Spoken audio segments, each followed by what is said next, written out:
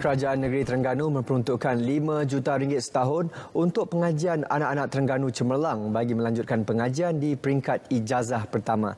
Terbaru, tiga anak Terengganu menerima biasiswa skim pelajar cemerlang peringkat ijazah keluar negara membabitkan peruntukan 1.78 juta ringgit. Muhammad Sharif Saizli, Wan Muhammad Amirul Sofian Wan Ruhazlan dan Wan Nur Fazliatul Adawiyah Wan Muhammad Fakri akan melanjutkan pengajian empat tahun di Jepun.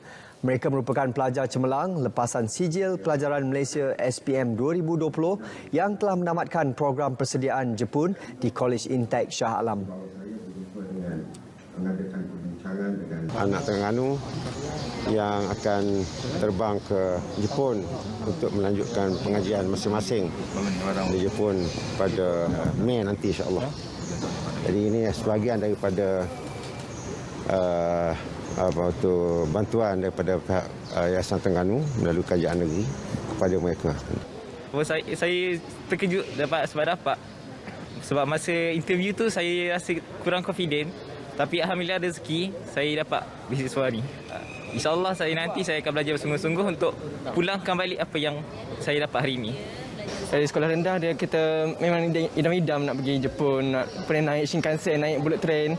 Tak, tak sangka rezeki dapat dapat tajaan daripada Yayasan Terengganu dan dapat ke Jepun. Saya rasa macam senang untuk saya lagi fokus terhadap pembelajaran saya sebab saya tidak perlu fikir masalah-masalah lain. Selain itu saya rasa uh, bersemangat kerana ada orang yang menyokong saya dari segi kewangan, dari segi mental.